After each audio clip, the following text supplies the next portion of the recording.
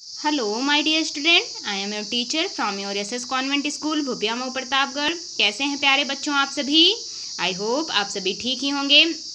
Daily videos देख रहे होंगे डेली पढ़ाई कर रहे होंगे और इस कोरोना में आप घर से बाहर नहीं निकल रहे होंगे, घर के अंदर ही रह रहे होंगे। सो माय डियर स्टूडेंट आपके स्कूल का चैनल बन चुका है यूट्यूब पर। आप यूट्यूब पर अगर जा कर के वहाँ Sumit Singh convent school search करेंगे तो आपका पूरा सब्जेक्ट के वीडियोज़ आ जाएँगे और आपको अपने चैनल को सब्सक्राइब करना है। और आपको जो भी सब्जेक्ट या जो भी सब्जेक्ट आपको अच्छा लग रहा है, पढ़ा, आपको पढ़ रहे हैं, वहाँ पर जो भी सब्जेक्ट टीचर का पढ़ाया अच्छा लग रहा है, आप वहाँ पर लाइक और कमेंट भी कर सकते हैं माय डियर स्टूडेंट तो चलिए मैं आज आपको हिंदी पढ़ाऊँगी और क्लास थर्ड के लिए है तो क्लास थर्ड वाले अपनी बुक खोल लें और प्लीज़ जिसके पास बुक नहीं है बुक नहीं लिए हैं अब तक, वो जा करके अपने स्कूल से बुक ले लें, क्योंकि स्कूल में बुक मिल रही है. सो माय डियर स्टूडेंट इस तरीके से आपका पहला, दूसरा चैप्टर तीसरा भी चैप्टर आपका फिनिश हो चुका है.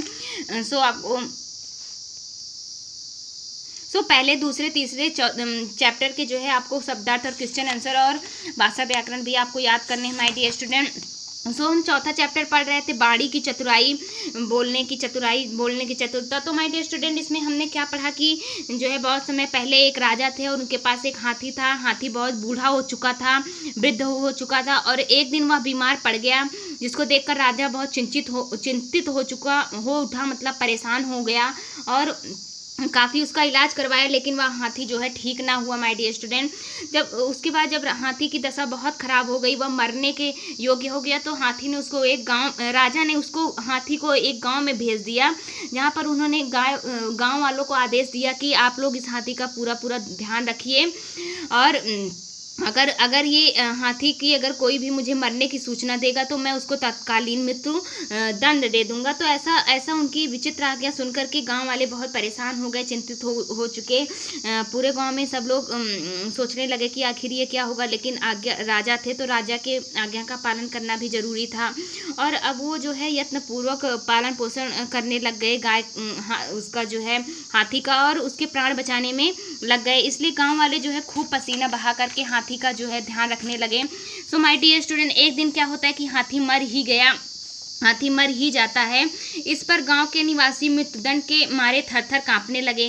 तो जब राजा कहते हैं कि जो मुझे मृत्यु की सूचना देगा, मैं उसको मृत्युदंड दे दूँगा तो इसकी, यह सुनकर के गाँव वाले जो है वो थर थर कांपने लगते हैं और बहुत परेशान हो जाते हैं। वे आपस में विचार विमर्श करने लगे। आपस में विचार विमर्श करने लगते हैं, एक दूसरे से पूछने लगते हैं और कहने लगे, और कहने लगे, हाय, आज हमसे कौन राजा के पास जाकर, आज हम में से कौन राजा के पास जाकर हाथी हाथी के मरने का समाचार देगा। तो वो लोग डरने लगते हैं कि हम में से कौन जाएगा और हाथी को मरने का समाचार देगा। जब मौत के भय से व्याकुल गाँव के लोग इस प्रकार चिंता में डूब गए थे, तब कोई चतुर ग्रामवासी चिंतामग्न हाथी के पास बैठे लोगों के पास आकर बोला तो जब सारे गाँव वाले चिंता में डूब जाते हैं, तब एक चतुर आदमी आता है और सारे गाँव के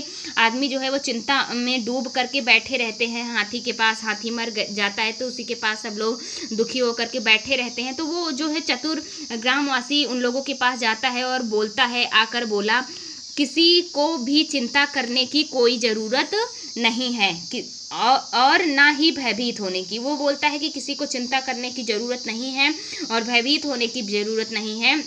मैं कल ही राजा, मैं कल ही जाकर राजा से इस हाथी की मृत्यु का समाचार कहूँगा कि मैं खुद ही जाऊँगा। वो चतुर आदमी बोलता है कि मैं जाऊँगा और राजा से हाथी की मृत्यु की समाचार कहूँगा। ऐसा कहकर वह राजमहल की ओर चल दिया और राजा के महल के पास जाकर खड़ा हो गया। तभी द्वारपाल ने राजा से कहा, महाराज, एक ग्रामवासी आपके पास आना चाहता है। राजा ने उसे उस ग्रामवासी को अपने पास आने का आदेश दिया।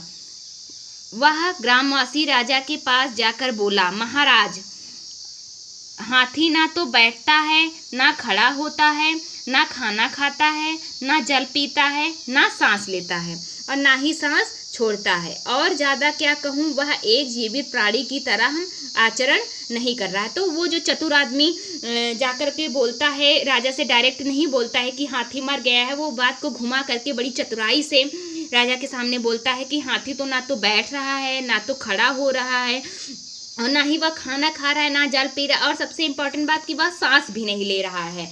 तो और वह जीवित प्राणी की तरह व्यवहार नहीं कर रहा है, आचरण नहीं कर रहा है। यह सुनकर राजा ने पूछा, क्या वह हाथी मर गया है? इस पर वह ग्रामवासी बोला, हे स्वामी, यह तो आप ही कह रहे हैं, हम नहीं। तो राजा इसे पूछ लेते हैं कि क्या वह हाथी मर गया है? अगर वो कुछ खा नहीं रहा है, सांस नहीं ले रहा है, कुछ बोल नहीं रहा है तो क्या वह हाथी मर गया है? तो राजा जब ऐसा बोलते हैं तो वो ग्रामवासी तुरंत कह देता है कि, हे स्वामी, ये तो आप ही कह रहे हैं कि वह हाथी मर गया है। मैंने तो ऐसा कुछ भी नहीं कहा। सोचो कितनी चतुराई से उसने अपनी बात कह दी राजा के सामने। तब राजा उसके बोलने की सरलता और चतुराई से बहुत प्रसन्न हुआ। तो राजा जो है उसके बोलने की सरलता और चतुराई से बहुत प्रसन्न हो जाते हैं। राजा ने उस ग्रामवासी के साथ साथ गाँव के सभी निवासियों को भी बहुत सा इनाम दिया।